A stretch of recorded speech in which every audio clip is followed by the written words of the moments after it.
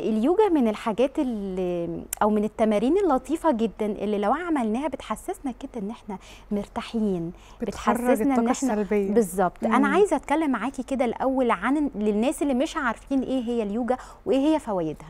هي اليوجا آآ غذاء للروح والعقل والجسد،.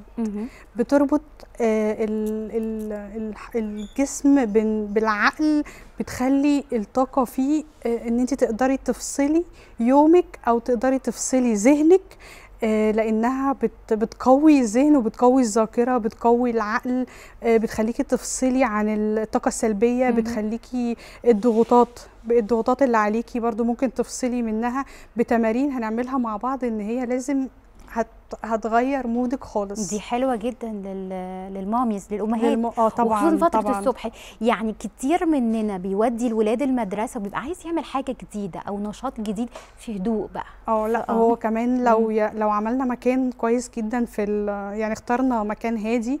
آآ في ال في الشقة وحطينا فيه مثلًا ديكور كويس، حطينا فيه آآ آآ شكل منظر طبيعي آآ وعملناه خاص باليوجا،. هيفرق معاه جدًا، جدًا، جدًا بعد ما طبعًا الأطفال ممكن تنزل مثلًا ال الschool بتاعتهم. آآ الماميز تقعد بقى تعمل في الركن بتاعها المخصص لليوجا حركات هتخلّيها بقى تفصل وترجع تقدر تبتدي اليوم من الصبح. بذهن صافي، ب بلياقة، آآ بنشاط آمم ز يعني ذهن ما فيهوش أي مشكلة ولا أي حاجة، بالعكس مركّز.